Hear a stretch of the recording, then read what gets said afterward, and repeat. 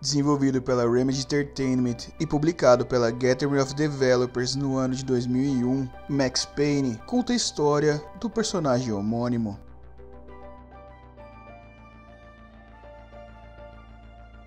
Em agosto de 1998, Max Payne, um detetive da cidade de Nova York, retorna para sua casa após um cansativo dia de trabalho, porém descobre que três viciados em uma nova substância chamada Valkyria haviam invadido a sua casa e finalizado sua esposa Michelle e sua filha Rose.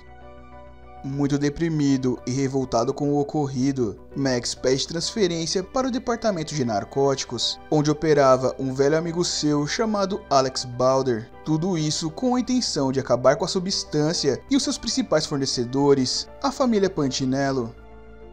Já em 2001, uma vez trabalhando como um agente filtrado na família, Max recebe um recado de um outro agente apelidado de Bebê, afirmando ter informações sobre Jack Lupino, o principal suspeito do tráfico de Valkyria, e pedindo que ele se encontre com Alex numa estação de metrô. Uma vez na estação, Max se depara com diversos bandidos que estavam realizando um assalto a um banco ali perto e, após lidar com eles, Max se reencontra com seu velho amigo, porém Alex é finalizado por alguém desconhecido em meio ao diálogo. Esse fato, no entanto, faz Max ser incriminado pelo ocorrido e a polícia, liderados pelo vice-chefe Jim Bravura, começa a persegui-lo e, para piorar, o seu disfarce foi comprometido. Max começa então a colocar o seu plano de vingança em prática e após acabar com alguns chefes menores da máfia, ele descobre a localização do esconderijo de Lupino como sendo a boate Ragnarok, onde Max o encurrala e o finaliza. Logo após isso, ele conhece a assassina contratada Mona Sachs, que é a irmã gêmea de Lisa, a esposa de Angelo Puntinello, o líder da família. Mona então revela que ele havia pego o homem errado, pois o verdadeiro culpado por trás de tudo é Angelo. Os dois decidem trabalhar juntos, pois veem que estão atrás do mesmo objetivo e ela o oferta uma bebida, a qual Max aceita, porém Mona havia colocado um sedativo, pois não confiava em Max e tinha medo que ele iria acabar finalizando também a sua irmã. Com isso, Max desmaia e tem uma espécie de pesadelo, onde, dentre outras coisas, se lembra de que sua esposa, a qual trabalhava no escritório do promotor público, havia recebido um relatório sobre algumas coisas nórdicas e ela tentou lhe falar sobre isso, porém não conseguiu encontrá-lo a tempo.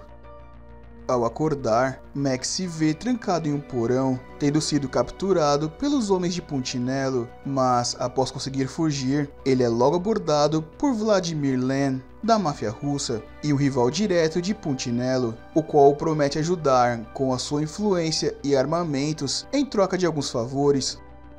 Pensando que poderia pegar Ângelo desprevenido, Max marca uma reunião no restaurante do Dom, mas logo descobre se tratar de uma armadilha e após se livrar de todos, ele recebe uma carona de Vladimir, o direcionando até a mansão de Ângelo.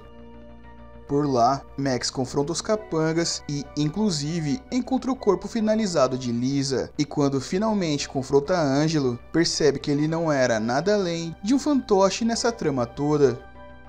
Mas antes que pudesse obter maiores informações, Angela é finalizado pelos capangas da verdadeira mandante de tudo, chamada Nicole Horn, a presidente da empresa farmacêutica Aesir Corporation, a qual é responsável pela fabricação da Valkyria.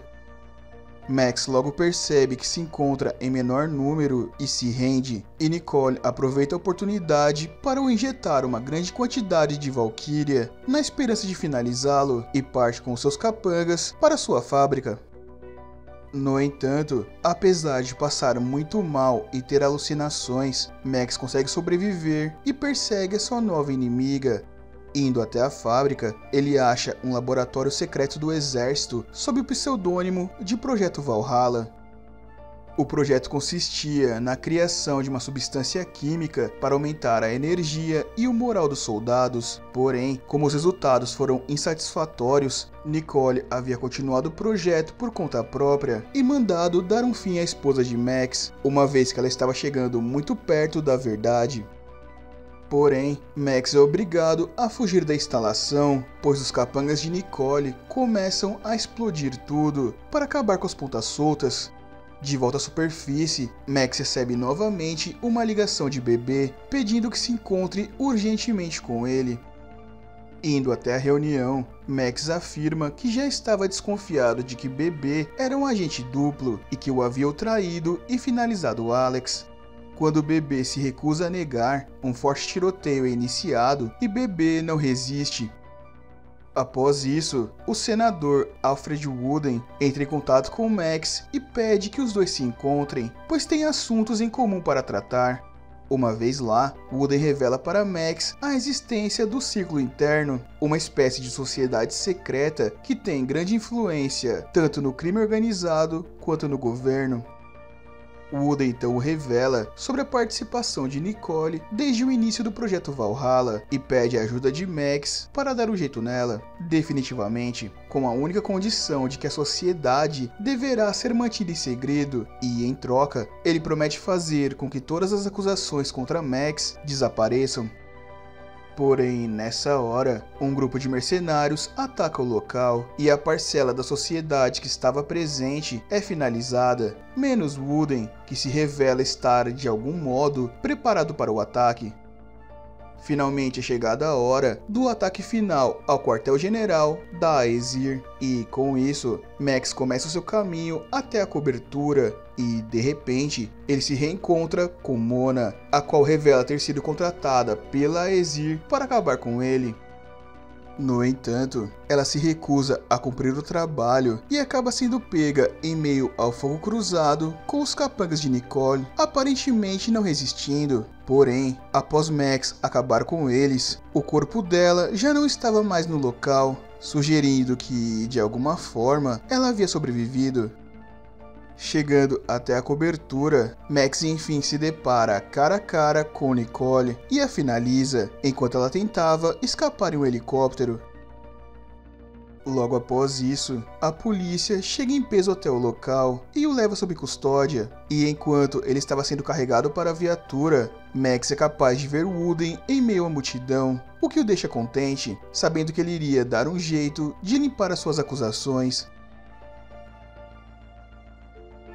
Se você gostou dessa história, não se esqueça de se inscrever para acompanhar os próximos vídeos e, se possível, compartilhe, que você me ajuda demais. Então, por hoje é só e até mais.